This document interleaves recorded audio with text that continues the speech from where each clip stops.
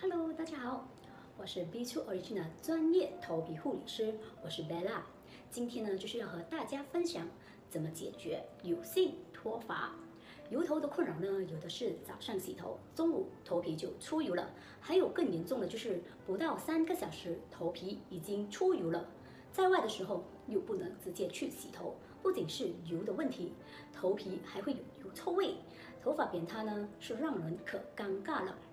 头皮过量出油的话，除了会导致毛囊阻塞，接下来呢，我们更担心的问题就会出现了，那就是脱发。那么呢，我们要如何去解决呢？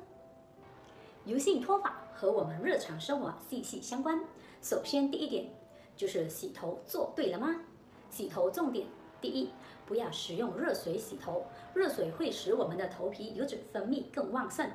第二，洗发时，洗发液不要停留在头皮太久，只需要用指腹搓揉我们的头皮，冲洗干净就可以了。第三，保持每天洗头，要确保把这个头皮和头发冲洗干净。第四，选择适合自己的洗发液。如果只是使用控油的洗发液，这样呢，头皮水油就会不平衡，而导致这个头皮油脂分泌更旺盛。